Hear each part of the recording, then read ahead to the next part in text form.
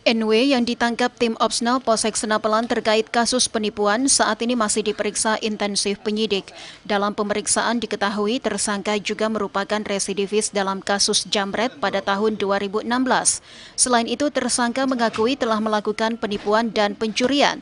Dari pemeriksaan diketahui sudah 18 kali tersangka melakukan penipuan terhadap korban yang rata-rata sudah lanjut usia dengan modus mendapatkan bantuan dari masjid.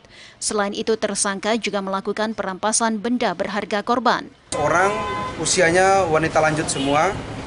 E, barang bukti yang kita amankan satu unit sepeda motor Honda Harisma BM 5459 TI.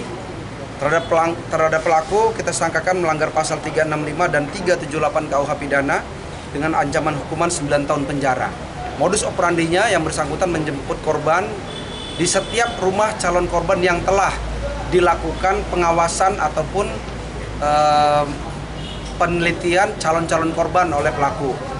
Jadi pada saat pelaku uh, membawa korban, sesampainya di masjid ataupun di musola yang dituju, yang bersangkutan menurunkan korban, sekaligus menyampaikan bahwa barang-barang yang dibawa harus dititipkan kepada yang bersangkutan. Untuk mempertanggungjawabkan perbuatannya, tersangka kini dijebloskan ke sel tahanan Mako Polresta Pekanbaru.